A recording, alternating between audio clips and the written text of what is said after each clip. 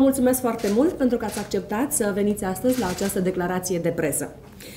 Formul Democrat al Germanilor, uh, stimați telespectatori și dragi reprezentanți ai presei, dezinformează românii din diaspora pentru a genera aglomerație la secțiile de votare, atât la începutul cât și la sfârșitul votării, cu scopul de a crea aparența că reprezentanții secțiilor de votare nu pot administra procesul electoral.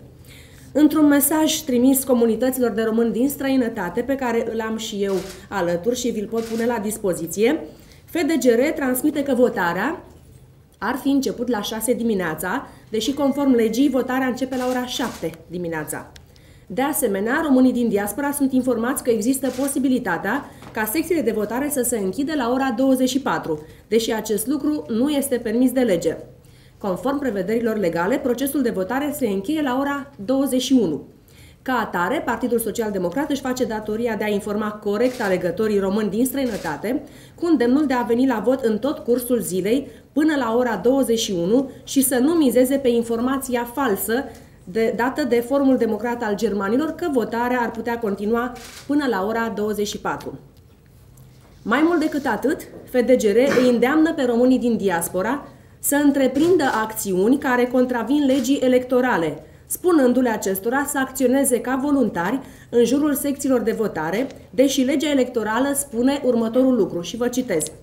În afară de membrii biroului electoral al secției de votare, de candidați și de persoanele acreditate, nicio altă persoană nu poate staționa în locurile publice din zona de votare sau în localul de vot mai mult decât este timpul necesar pentru votare. V-am dat un citat din legea 370 pe 2004, articolul 43, aliniatul 1. Și ce aș mai vrea să vă subliniez, și anume faptul că informația apărută în presă, potrivit căreia reprezentantul nostru la Torino nu s-ar fi prezentat la secția de votare este o informație falsă, este o intoxicare. Domnul Constantin Dolha s-a prezentat de dimineață de la prima oră în secție și a participat. Există într-adevăr o absență, dar nu din partea reprezentanților noștri. Este vorba despre un reprezentant al altei formațiuni politice. De asemenea, aș vrea să vă informez în legătură cu faptul că la Londra, la secția 152, s-a întâmplat un incident, noi spunem chiar mai mult o ilegalitate. Mai mulți votanți și-au luat singuri ștampila și mai multe buletine de vot cu care au intrat în cabină, le-au ștampilat, repet, mai multe buletine de vot, nu doar unul singur de persoană, ulterior introducându-le în urnă.